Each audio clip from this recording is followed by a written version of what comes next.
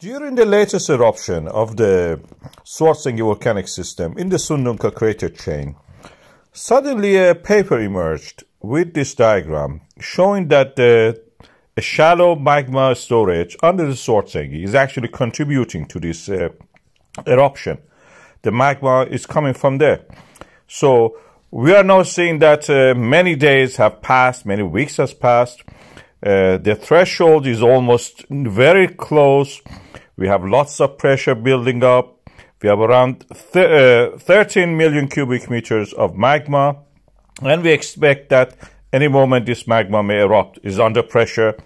It will erupt and it will rise to the surface.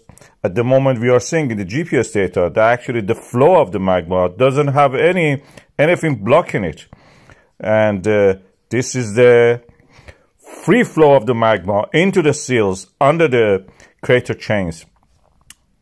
Relatively flat area to the right shows that the uplift of the land has almost stopped reached equilibrium.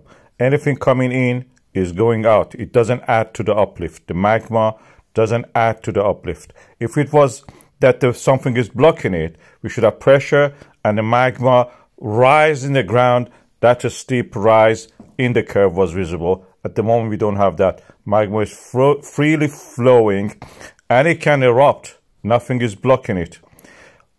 And this is what we expect to see in the Grindavik Rift Valley.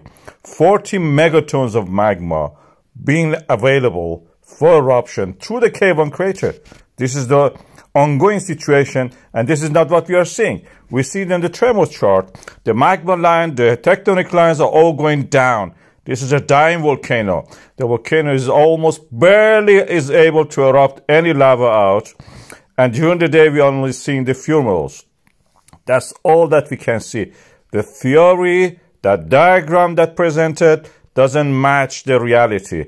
This theory that the shallow magma storage in four or five kilometer depth is wrong. That magma is not sourced from there, otherwise we, we would have eruption.